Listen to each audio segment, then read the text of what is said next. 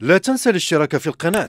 وتفعيل الجرس ليصلك جديد الرياضية المغربية أولا بأول